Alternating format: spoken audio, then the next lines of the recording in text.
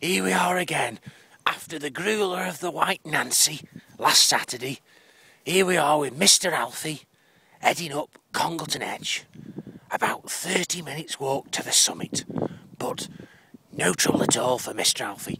Whoosh, and there he goes. No trouble at all. Whoosh. We've got a fair climb ahead of us, so let, let's see how we get on. Come on, Mr. Alfy. Let's see what we can do.